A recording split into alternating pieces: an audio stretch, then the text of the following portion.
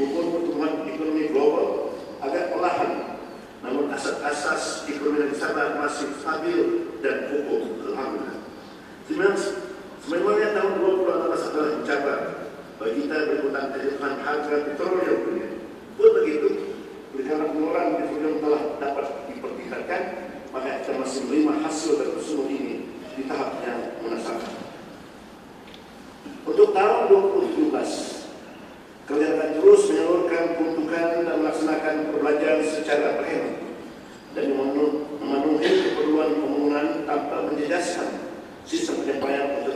dan kesejahteraan rakyat. Bertemakan rakyat dijiwai, kemakmuran dinikmati. Bajet dibentangkan di Dewan Undangan Negeri di Kota Kinabalu.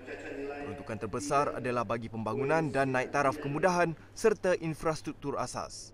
Bajet 2017 menyaksikan hak kelayakan pinjaman perumahan penjawat awam kepada RM500,000 berbanding RM350,000 sebelum ini. Penjawat awam turut diberikan bantuan khas RM500.